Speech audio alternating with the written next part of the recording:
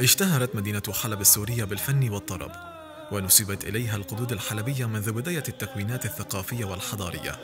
فكانت مركز إشعاع ثقافي حضاري وموسيقي فارتبط اسمها بأهم وأشهر موسيقيي ومطربي ومؤديي القدود الحلبية. القدود اللي جمعتها في باقة زاد جميل لجمع كل التراث العربي كبكية الورد من كل روض الزهر كانت حلب منذ مئات السنين محطة رئيسية على خطوط التجارة العالمية ما جعلها مدينة مترفة تحتضن الفنون بشكل عام والغناء والموسيقى بشكل خاص وهذا ولد طبقة من الموسيقيين والملحنين والمغنين الذين يواجهون الطلب المتزايد على الغناء بألحان جديدة يضعونها باللهجة الحلبية. نتيجة آه، نشاط الديانات في المعابد. والإنشاد الديني والسؤال الإله بأصوات رخيمة فوقت اللي الناس سمعوا آه، وظفوا هالألحان اللي كانوا يغنوا فيها المنشدين هاد إلى شيء غزلي فنظموا أشعار على قد هالشعر هذا وصاروا يغنوا. قديما كان أداء القدود الحلبية مقتصرا على الأصوات الذكورية. ولكن بدأت حناجر النساء الحلبيات تصدح بالقدود الحلبية منذ عقد من الزمن أو أكثر تأكيدا على دورهن في نقل الموروث الشعبي للأجيال. بالستينات بلشت آه، تطلع أصوات نسائية اللي هن آه، حنان وزكية حمدان و مهد جابري. مهد جابري. كشفت على صدري وللتعب تفرج دكان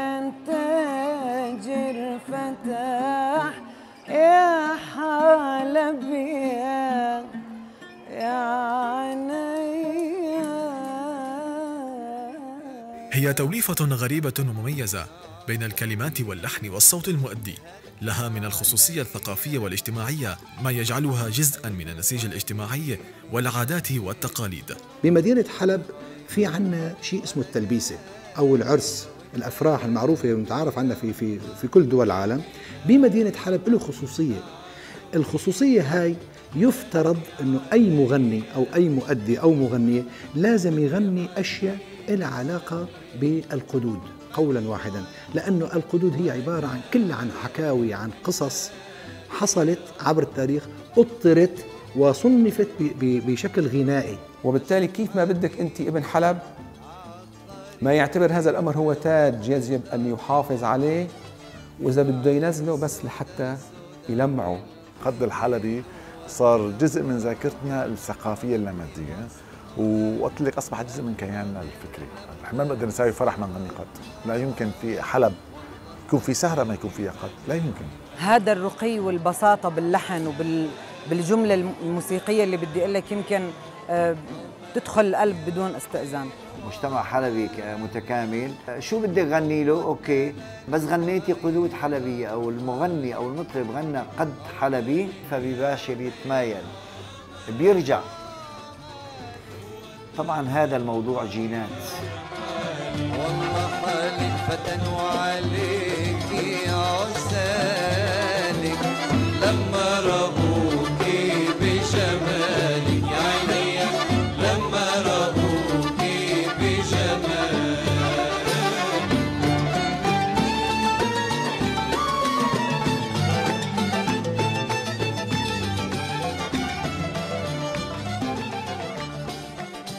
التطور التكنولوجي وأنماط الموسيقى المتسارعة التي تغزو العالم الآن. لم تستطع المساس بألحان القدود الحلبية والتي ثبت بلحنها البسيط المتكرر وقدرتها على تغيير موضوعات كلماتها إلى ثبات الألحان الأصلية في الذاكرة الشعبية.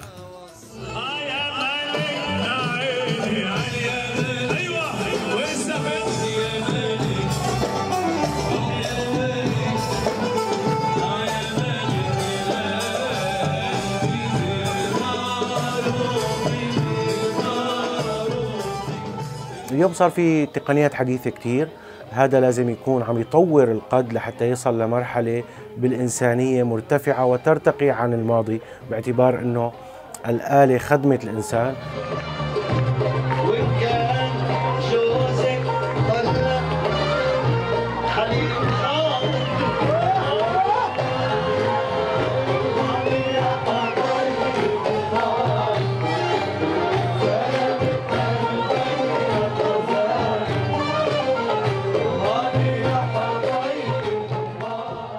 إن الحرب على سوريا وما خلفته من ألحان الموت والدمار على مدى سبعة أعوام لم تقوى على تغيير السلب الموسيقي لأهالي حلب فاستمرت المؤسسات الحلبية والأجيال الصاعدة رغم كل ما عانته تجدو بصوت ضارب في عمق الوجدان الحلبي على وتر القدود الحلبية. قدر المواطن أو ابن حلب من خلال الفن قدر يتجاوز هذه المحنة هذه الأزمة فترة الحصار الشديد من خلال الغناء من خلال سماعه للموسيقى. قدر يعلي صوت الغناء والموسيقى بما يتجاوز أصوات المدافع والصواريخ والقذائف. نحن تواصلنا من خلال الأخوة نقابة الفنانين والجمعيات المعنية مجلس مدينة لم يتوقف عن أداء مهامه. لا قبل الأزمة ولا بعد الأزمة ولا لحظة واحدة. قامت مديرية الثقافة بالعديد من الفعاليات من ضمنها المهرجانات التراثية والحفلات الأمسيات الغنائية والموسيقية المحاضرات والندوات التعريفية بالتراث الطربي الحلبي الأصيل بشكل عام والقدود الحلبية بشكل خاص. بكل أمسية ثقافية أو مهرجان ثقافي إن كان في سوريا أو خارج سوريا يكون العنصر الأساسي فيه هو القد الحلبي. على العقيق اجتمعنا نحن والسود العيون يا خيو نحن والسود العيون. ما ظني مجنون ليلة من كل هناء الرزنة إلى اجتماعنا على العقيق مع سود العيون وقدك المياس ويا طير طيري لكل منها حكاية وقصة تدور في الروح والذاكرة تعكس ماضي وحاضر المدينة. القدود هو عبارة عن وسام نحن معلقينه على صدرنا. وقادرين أنه نستنسخ من هذا الوسام ونعلقه على صدورة كل محبي القدود. القد يا سيدتي هوية الفنان السوري أو الحلبي تحديدا. كيف يعيش الفن؟ من خلال خلوده كيف يخلد؟ إذا أنا يخلد في ذاكرتي ما أنا أعشق وأهوى. فما بالك المجتمع الحلبي مجمع على عشقه للفن والطرب الأصيل؟ الطرب الأصيل والقدود والموشحات غذاء جسدي مترعرع من منذ منذ الصغر وإلى أن يشاء الله. أنا رسالتي اليوم كست سورية وست حلبية إني الفن ما بيتجزأ عند رجل ولا بيتجزأ عند ست الكلمة الحلوة واللحن الحلو لازم يوصل بصوتي بصوت أي حدا شاب أو بنت لازم نحن نوصل بالأخير الفن السوري الأصيل. وتبقى حلب مدينة الطرب مدينة الموسيقى والنغم مدينة القدود الحلبية. يا ربع يخلاني